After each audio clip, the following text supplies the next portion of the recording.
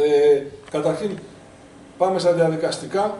Ε, μοιράσαμε τον απολογισμό. Ναι. Εντάξει, βασικά είναι το, το ενίκιο το οποίο δίνουμε στον κύριο Γιώκαλη, 10 ευρώ το μήνα. Είναι βασικά. Έτσι.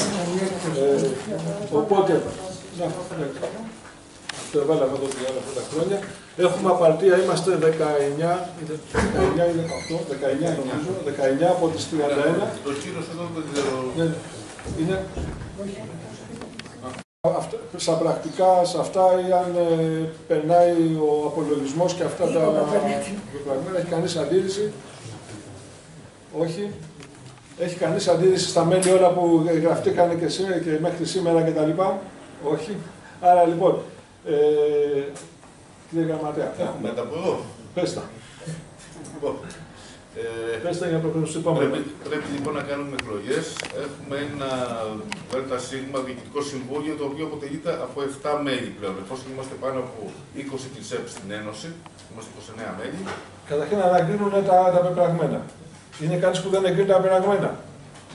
Όχι, πάμε. Ομόφωνα εγκρίνουν τα πεπραγμένα. Πάμε τώρα στο. Λοιπόν, ε, πρέπει να εκλέξουμε 7 μέλη για το Διοικητικό Συμβούλιο, 3 μέλη για Εποπτικό Συμβούλιο και χρειαζόμαστε και 3 άτομα για Εφορευτική Επιτροπή. Ένα άτομο το έχουμε ήδη για Εφορευτική Επιτροπή. Δεν ξέρω ποιος άλλος επιθυμεί. Λοιπόν, και ο καθένας ε, Εφορευτική. όπου θέλει να είναι υποψήφιος, απλά να μας το πει Λοιπόν. για να ετοιμάσουμε τα ψηφοδέλτια. Πάμε να δούμε το εξής. Μέχρι τώρα έχουμε, έχουμε 7 υποψηφιότητες και έχουμε και από τους 5 νομούς. Να πω ποιοι είναι οι υποψηφιότητες που έχουμε. Είναι από την Αργολίδα ο κ. Κιντής Δημήτρης. Παρακαλώ να. Έτσι, εγέ, να γιατί για να. Μετά, από την Αρκαδία ο υποφαινόμενος. Ε, από την Κορινθία είναι ο Παγγελγόπουλος ο Ανδρέας, ο οποίος είναι, είναι ασθενής σήμερα λόγω, λόγω COVID εκεί πέρα και ο Τσολάκος ο Χρήστος. Από τη Λακωνία, Σουκαράς, Παναγιώτης, Λακωνία.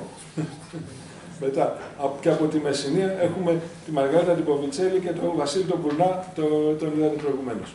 Αν θέλει κάποιος άλλος υποψηφιότητα να αναθέσει για το Διοικητικό Συμβούλιο, μπορεί να το πει τώρα. Ο Γιώργος Κωνσταντινόπουλος από Μεσσηνία. και Γιώργος Κωνσταντινόπουλος από Μεσσηνία. Εκλεγούν ένας από κάθε νομό. Άρα λοιπόν οι πέντε θα βγουν οι πέντε πρώτοι από τους πέντε νομούς και μετά θα βγουν και οι επόμενοι δύο. Παρένθεση, η Πασέ καλό είναι αυτό που λέμε γεωγραφική δημοκρατία, δηλαδή θέλουμε να φτάσουμε στις 13 περιφέρειες μέλη που να είναι στο 13 μελές συμβούλιο ένας από κάθε περιφέρεια. Όχι δηλαδή Αθήνα επειδή έχει το 50%, το 60% των, των κοινωνικών να έχει το 60%. Έτσι, αλλά να είναι γεωγραφική η δημοκρατία και με αυτό δουλεύουμε όλη την Ομοσπονδία και τη Ομοσπονδία. Άρα λοιπόν έχουμε 8 υποψηφίους